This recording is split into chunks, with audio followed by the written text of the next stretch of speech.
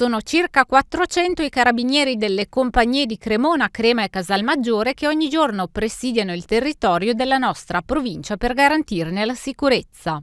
Giornalmente l'Arma dei Carabinieri, territorialmente competente sulla provincia, mette in campo tra le 40 e le 50 pattuglie distribuite nell'arco delle 24 ore e omogeneamente presenti sul territorio, chiaramente con una eh, specifica eh, aderenza a quelle che sono le esigenze. In concomitanza delle partite di calcio, per esempio, diminuiscono le pattuglie in provincia da 50 a 40 per dedicare il personale al presidio dello stadio. Nel capoluogo ogni giorno operano 80 carabinieri e 15 pattuglie monitorano la città e i comuni limitrofi.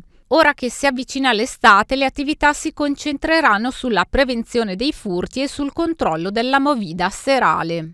Sicuramente il clima eh, consente una vita all'aperto eh, maggiore rispetto al resto dell'anno e questo comporta inevitabilmente una concentrazione in alcune aree territoriali dove vi sono locali di intrattenimento eh, che eh, obbligano un'attenzione anche soltanto per uno scopo deterrente, uno scopo di, diciamo, di contenimento di quelli che non necessariamente sono condotte che arrivano a configurare eh, delitti o reati, ma che attengono di più quella che sono normali, eh, con, normale convivenza civile. Notevoli risultati ottenuti nelle azioni di contrasto al traffico di stupefacenti, che è una delle criticità sul nostro territorio.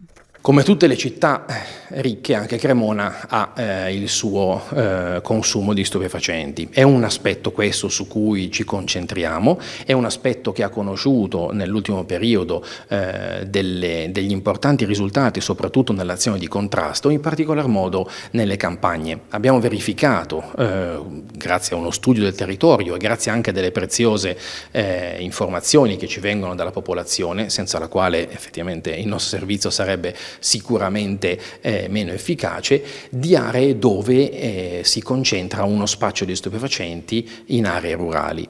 Questo ha comportato lo studio, l'organizzazione e l'esecuzione di servizi che hanno portato ad importanti risultati sia in termini repressivi sia anche in termini preventivi.